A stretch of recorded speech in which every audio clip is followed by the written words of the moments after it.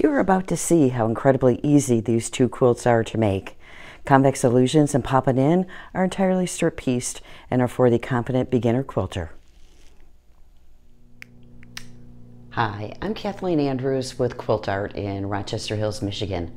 Welcome to our video series for our two most popular patterns, uh, Convex Illusions and Poppin' In.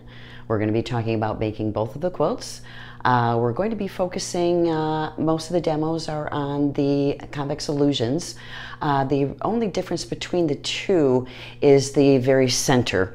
Uh, for the Poppin' In, the center illusion goes in and basically you're reversing the strips. The narrow strips go to the center in both directions and the pattern addresses that. But all of the fabric cuts are the same uh, for both of the patterns. The shaded triangles are made the same, the corners are made the same, uh, so they are almost identical patterns. Uh, there's going to be three keys for success with this particular quilt. Um, the first one is going to be accuracy in your cutting. You want to take the time to be very, very accurate since this quilt is entirely strip pieced. Um, that is going to be one of your keys to success. Um, your next key to success is going to be a consistent seam allowance. It doesn't necessarily have to be a quarter inch, although that is highly suggested. Uh, consistency is incredibly important in strip piecing. That way, especially like when you're doing the center, you're getting things to line up properly in both directions. Uh, then the third is to follow the pressing directions. Uh, the pressing directions are in each one of the stages, um, and that will be important so that you can put the whole thing together, most of it together without pins um, in the areas that have a lot of uh, matching intersections. So we'll be starting with the center area.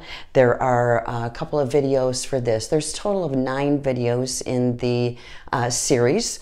Uh, so we start with the center and basically the center is just two strip sets. One is dark, light, dark, and the other strip set is light, dark, light.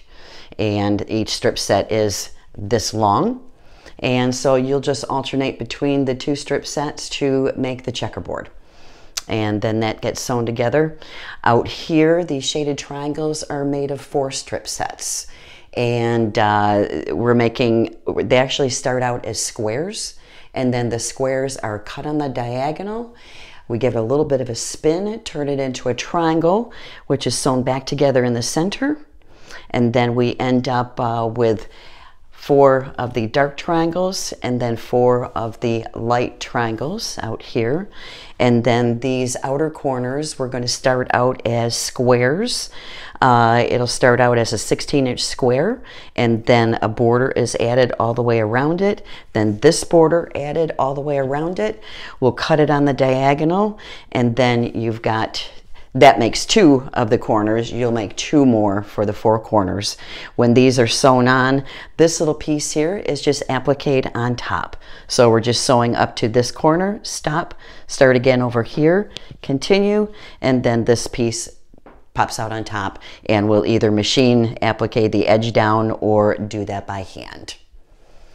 So stay tuned. We have uh, a series of nine videos uh, and check on YouTube for all of them.